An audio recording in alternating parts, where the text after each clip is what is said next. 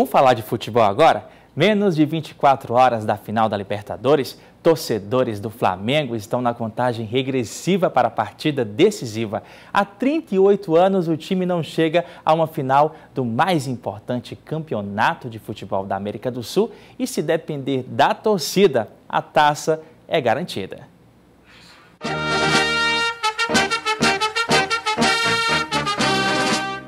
Sexta-feira, véspera do jogo, e o torcedor quer garantir que vai acompanhar tudo devidamente preparado.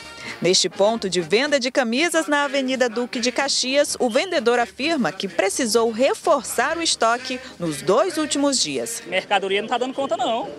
Ah, foi pedido várias vezes. E porque senão amanhã, que é o dia do jogo, ia ficar sem, sem sem produto para vender, mas chegaram. Camisa garantida, a expectativa é de um grande jogo. Mesmo quem não é flamenguista torce pela vitória do rubro-negro. 3 a 2. Com certeza, o Flamengo vai ganhar. 3 a 0. Dois, dois de Gabigol, um de Bruno Henrique. E toda essa expectativa dos torcedores tem justificativa, que após 38 anos o Flamengo chega novamente a uma final da Taça Libertadores. O jogo de amanhã contra o River Plate vem cheio de muita vontade e os torcedores podem comemorar em dobro. É que além de ser campeão da Taça Libertadores, o Flamengo pode ser também campeão do Brasileirão 2019. Se o Palmeiras não vencer o Grêmio no domingo, fica impossível qualquer outro time acompanhar o Flamengo no topo da tabela do Campeonato Brasileiro. Por isso, os torcedores se preparam para uma grande festa.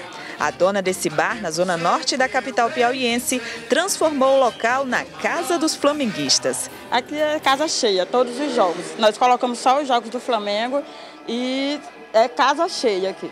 Aqui tem gente que já começou a festejar e promete que a comemoração só acaba na segunda-feira. Mais do que confiante, não só campeão da Libertadores, mas campeão brasileiro também. A alegria dos torcedores piauienses foi a Lima, no Peru, onde acontece a partida da final da Libertadores.